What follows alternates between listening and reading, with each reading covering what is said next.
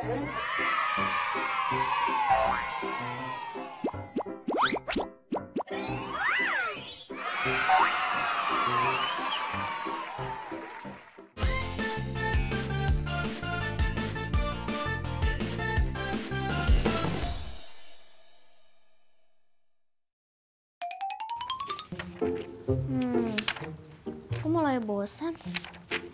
Baca buku apa lagi ya?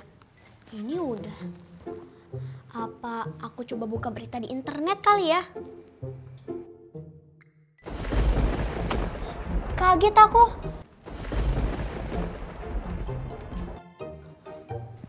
Eh, ada teman-teman. Sampai nggak sadar karena petir tadi ngagetin banget. Halo, selamat pagi teman-teman kelas 4. Bagaimana kabar kalian? Semoga semuanya sehat dan tetap semangat ya. Oh iya, jangan lupa untuk menyiapkan buku catatan dan latihan kalian ya. Serta jangan lupa berdoa agar semua ilmu yang kita pelajari hari ini dapat bermanfaat untuk kita semua. Amin. Udah ah, aku tutup tirai jendelanya ya teman-teman. Udah hujan juga nih. Supaya suara petirnya nggak terdengar menggelegar banget. Serem juga petirnya. Oh iya teman-teman di rumah. Aku jadi pengen tanya nih ke kalian. Tuliskan dong tanggal, bulan, dan tahun pada hari ini. Kemudian, apakah saat ini sedang musim hujan atau musim kemarau di tempat tinggal kalian? Setelah itu, mana yang lebih kalian sukai? Musim hujan atau musim kemarau? Dan mengapa? Aku penasaran nih, kalian lebih suka musim mana sih? Kalau aku kan pecinta hujan, tapi gak suka petir. Oh iya, daripada kita malah fokus dengerin suara petirnya, mending kita mulai belajar yuk. Mantap!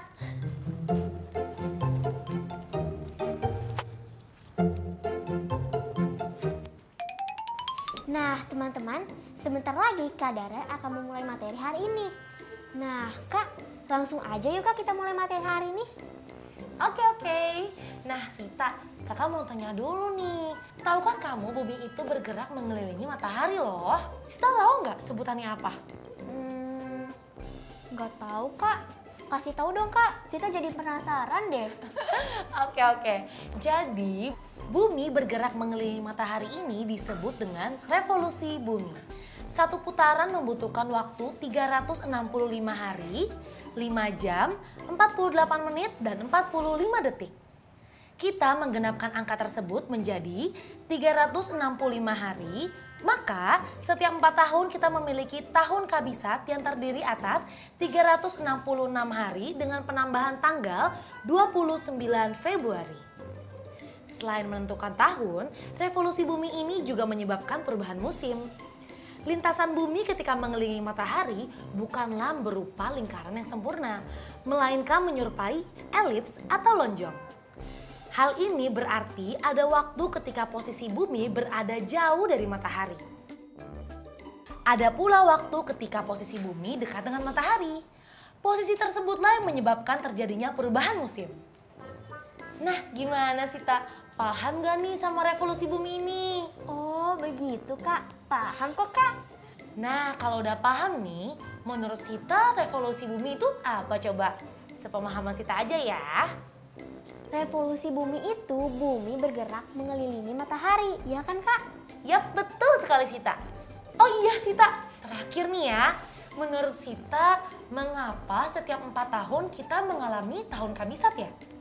Hmm, sepertinya karena kita menggenapkan waktu yang dibutuhkan untuk revolusi bumi yang tadi 365 hari itu bukan sih kak?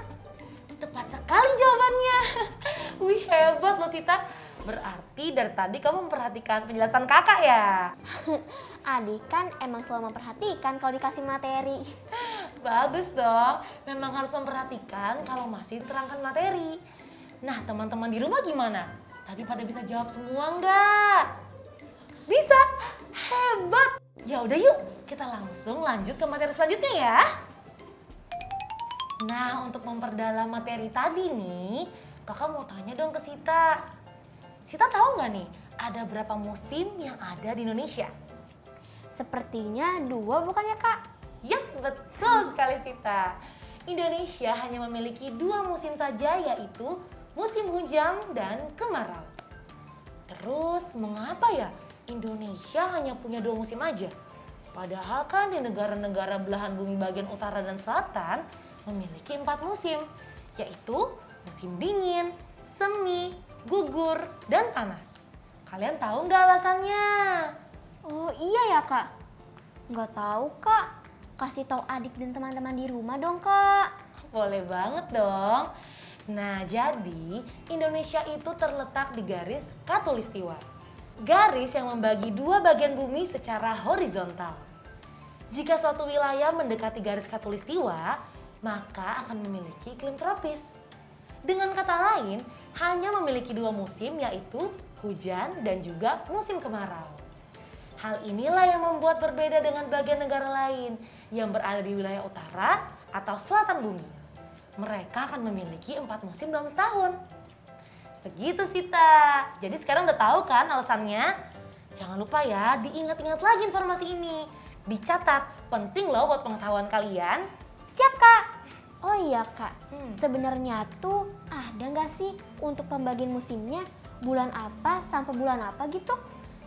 Ada dong pastinya. Jadi musim kemarau di Indonesia biasanya terjadi pada bulan April sampai Oktober. Dan musim hujan terjadi pada bulan Oktober sampai April. Sip kak, berarti bisa dibilang seperti dibalik gitu ya kak? Awal musim panas menjadi akhir musim hujan, awal musim hujan menjadi akhir musim panas. Betul sekali Zita. Nah sekarang saatnya kakak kasih kalian tugas nih. Yang pastinya masih berhubungan sama musim di Indonesia. Nah coba kalian perhatikan di layar. Tulis dulu soal yang ada pada layar ya. Coba sekarang kalian cari tahu mengenai informasi perubahan musim di daerahmu. Kalian jawab pertanyaan yang ada pada tabel ini ya. Nah sekarang kerjakanlah tugas ini. Jika kalian menemukan kesulitan, jangan lupa untuk bertanya pada orang tua atau orang di sekitar kalian ya. Selamat berdiskusi. Kita kembali lanjutkan materi ya. Masih semangat kan Sita? Masih dong kak, yuk kita lanjutkan materinya. Mantap. Nah sekarang kakak mau menjelaskan tentang kalimat menjebuk setara berurutan. Wah, apa tuh kak? Nah, sebelum belajar tentang kalimat majemuk setara berurutan ini, kalian harus tahu dulu nih arti klausa. Klausa adalah gabungan kata yang terdiri atas subjek dan juga predikat. Sepintas, klausa terlihat mirip dengan kalimat. Namun, ada hal yang membedakannya antara klausa dan juga kalimat nih. Klausa tidak memiliki tanda baca, Sita. Paham gak kamu sampai sini? Hmm, paham sih kak. Tapi adik butuh contoh kak, biar lebih paham. Oke, boleh banget. Untuk contoh klausa seperti anjing menggonggong, kemudian ibu memasak, dan Tony bermain bola. Begitu Sita, gimana? Udah lebih paham? Nah, kalau ada contohnya kan adik makin paham kak. Ya udah, sekarang yuk kita baca pengertian kalimat majemuk setara berurutan. Yang pertama, pengertian kalimat majemuk. Kalimat majemuk adalah kalimat yang terdiri atas dua klausa atau lebih yang digabungkan menjadi satu kalimat. Penggabungan kalimat itu menggunakan kata penghubung, misalnya kemudian, lalu, dan, tetapi, dan lain-lain. Kemudian lanjut ke pengertian kalimat majemuk setara ya. Kalimat majemuk setara adalah gabungan dua klausa atau lebih yang mempunyai kedudukan yang sama atau sejajar. Klausa yang satu tidak menjadi bagian atau lebih tinggi dari klausa yang lain. Klausa-klausa tersebut dapat berdiri sendiri atau tetap mempunyai arti apabila dipisah. Kemudian kita lanjut ya ke pengertian kalimat majemuk setara berurutan.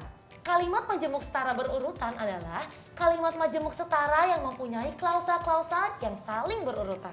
Dengan kata lain, klausa yang satu terjadi setelah atau sebelum klausa yang lainnya. Kata penghubung yang digunakan misalnya kemudian, lalu, setelah itu, dan lain-lain. Nah, gimana Sita? Kalau kamu sudah paham belum dengan kalimat majemuk setara berurutan ini? Agak pusing ya kak ternyata. Boleh dikasih contoh lagi nggak kak? Biar makin paham. Teman-teman di rumah juga pasti nungguin contoh kan? Boleh banget dong. Pas banget nih. Kakak udah siapkan dua contoh untuk kalian. Biar kalian bisa makin paham sama materinya. Kakak akan menggunakan kata penghubung lalu dan kemudian pada contohnya ya. Oke, kita masuk ke contoh pertama ya. Klausa 1 adalah keluarga Vina memasak opor ayam. Klausa 2 adalah keluarga Vina membagikannya kepada para tetangga. Ketika digabung menggunakan kalimat majemuk setara berurutan menjadi keluarga Vina memasak opor ayam lalu membagikannya kepada para tetangga. Lanjut contoh kedua. Klausa 1 adalah para tetangga berkumpul di taman komplek. Klausa 2 adalah para tetangga makan opor ayam dengan gembira. Nah, jika digabungkan menjadi para tetangga berkumpul di taman komplek, kemudian makan opor ayam dengan gembira. Begitu contohnya Sita. Gimana? Kamu sudah bisa menangkap materi ini belum? Paham kak. Ternyata mudah untuk dipahami juga ya setelah ada contohnya. Iya dong pastinya. Nah sekarang kakak ada tugas nih buat kalian. Oke sekarang kalian coba perhatikan layar ya. Kalian tulis dulu soal yang ada di layar. Kemudian kerjakan soal ini ya. Jika kalian menemukan kesulitan, jangan malu bertanya kepada orang di sekitar kalian ya. Selamat mengerjakan!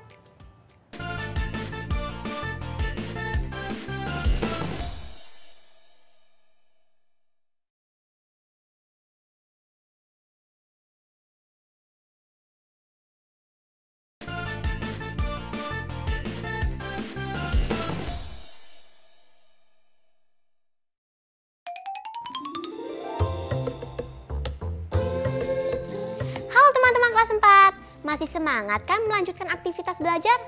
Kemarin Sita belajar dengan Kadara mengenai bilangan prima.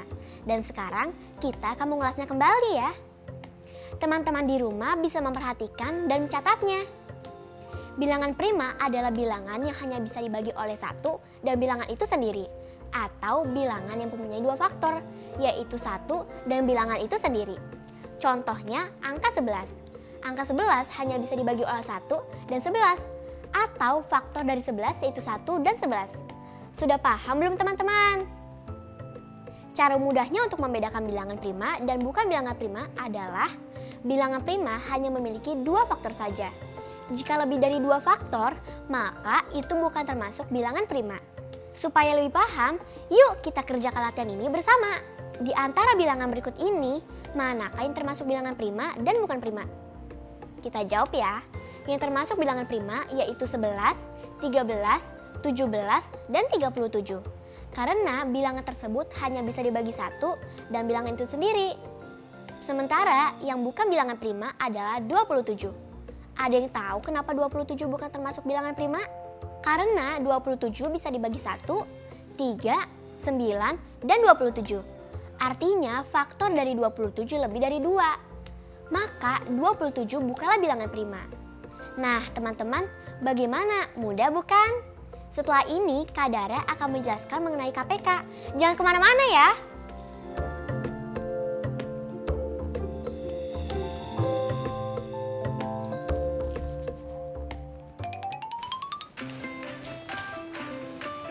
Kak, aku lagi bingung deh.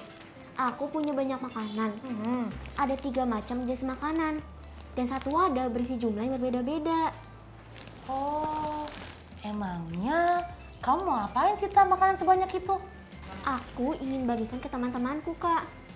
Satu tas hijau berisi 6 wafer. Hmm. Satu tas biru berisi 8 roti. Dan satu tas merah muda berisi 12 permen.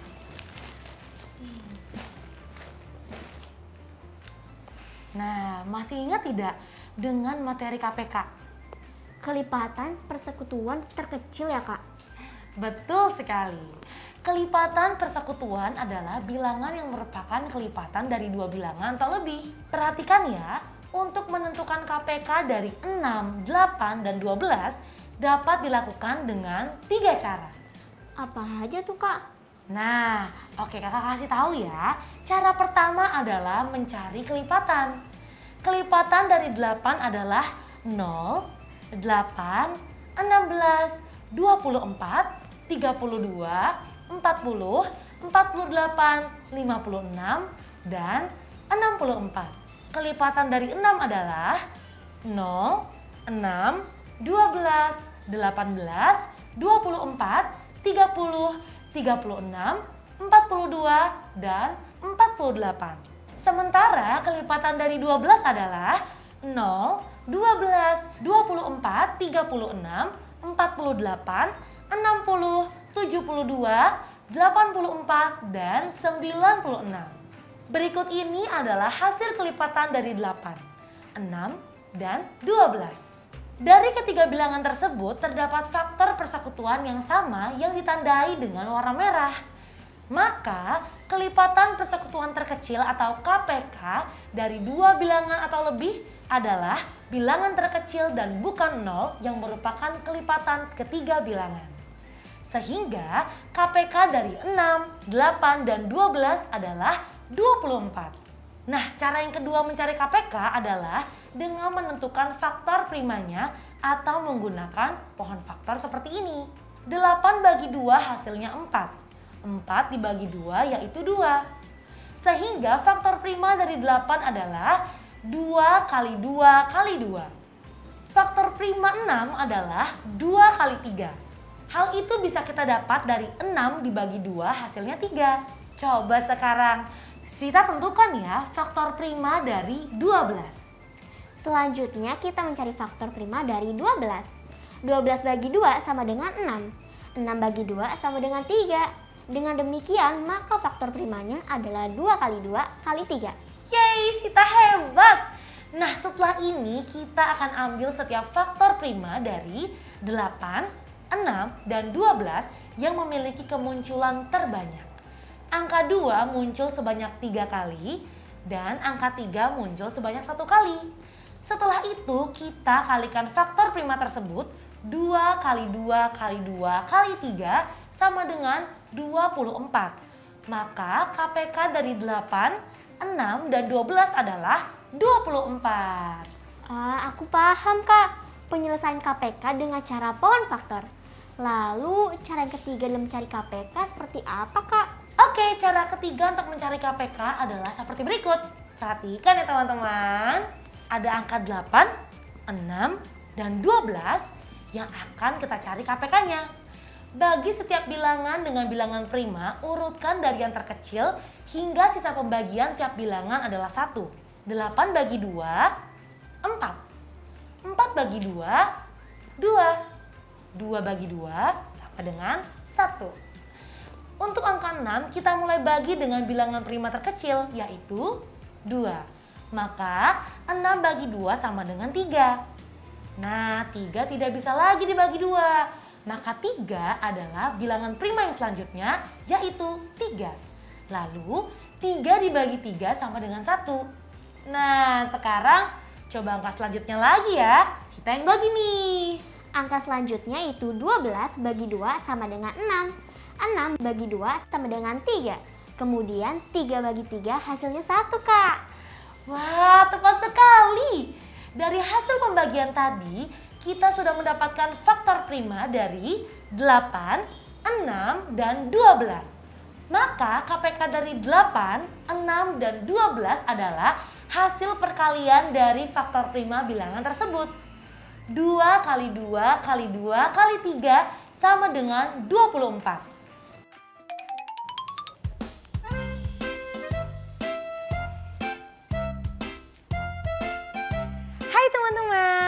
Minggu lalu kita baru aja membuat proyek gambar susunan planet dan juga matahari. Teman-teman masih ingat gak ada berapa planet dalam tata surya kita? Ya tepat sekali ada 8 planet. Dalam tata surya terdapat 8 planet yang mengelilingi matahari pada orbit atau lintasannya. Planet yang terdekat dari matahari itu ada Merkurius, Venus, Bumi, Mars, Jupiter, Saturnus, Uranus, dan Neptunus. Planet-planet tersebut berputar mengelilingi matahari. Istilah perputaran planet mengelilingi matahari disebut revolusi. Berikut ini adalah waktu revolusi dari beberapa planet. Seperti Merkurius memiliki waktu revolusi 88 hari atau 3 bulan. Venus memiliki waktu revolusi 225 hari atau 8 bulan. Dan bumi memiliki waktu revolusi 365 hari atau 12 bulan. Teman-teman, kalian tahu tidak? Kalau kalender Masehi yang kita pakai dibuat menggunakan dasar perhitungan waktu perputaran bumi yang mengelilingi matahari, yaitu 12 bulan, karena adanya revolusi tersebut, maka suatu planet akan mengalami waktu sejajar dengan planet lain. Waktu sejajar tersebut terjadi saat suatu planet nampak dalam posisi segaris dan planet lainnya. Nah, waktu sejajar tersebut dapat kita hitung estimasinya dengan menggunakan konsep KPK. Contohnya, setiap berapa bulan sekali Merkurius dan juga bumi dalam posisi sejajar, kita bisa menggunakan KPK untuk menghitungnya. Kelipatan persekutuan terkecil dari 3 dan 12 adalah 12. Maka Merkurius dan juga bumi akan sejajar setiap 12 bulan sekali. Yuk kita jawab pertanyaan ini bersama. Setiap berapa bulan sekali Venus dan juga bumi dalam posisi sejajar? Nah sekarang pertanyaan berikutnya dijawab oleh teman-teman ya. Kamu boleh menulisnya terlebih dahulu. Lalu tuliskan jawabannya di buku kerjamu ya.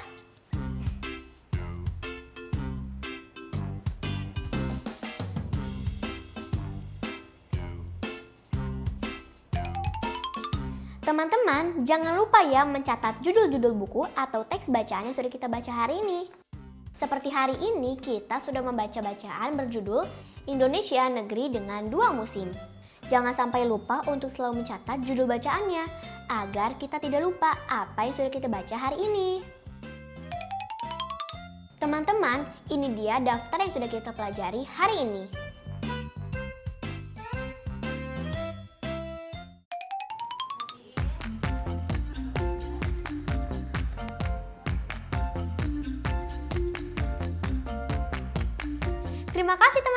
Sudah belajar bersama dengan Sita dan Kadara hari ini.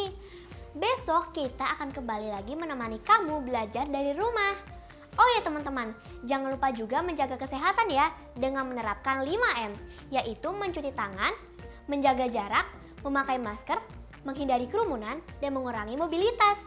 Sampai jumpa lagi teman-teman. Sekarang tetap belajar dari rumah ya teman-teman. Ingat, jaga jarak, rajin mencuci tangan, dan pakai masker agar kita mencegah penyebaran COVID-19. Sampai jumpa!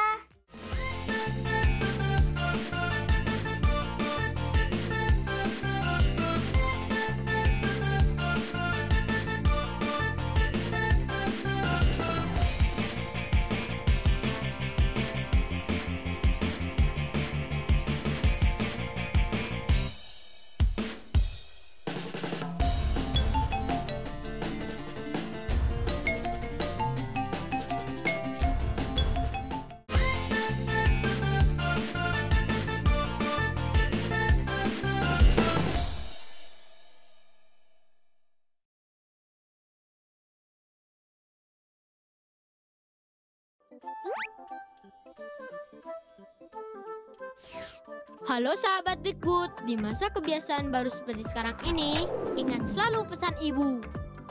Keluar rumah kalau penting saja ya nak, ingat untuk selalu 3M. 3M itu mudah dilakukan dan bisa mencegah penyebaran virus corona. Menggunakan masker, mencuci tangan dengan sabun dan air mengalir, menjaga jarak. Sahabat Dikbud, kalau kamu sayang keluarga, jangan bawa virus ke rumah ya. Ingat pesan ibu, ingat 3M.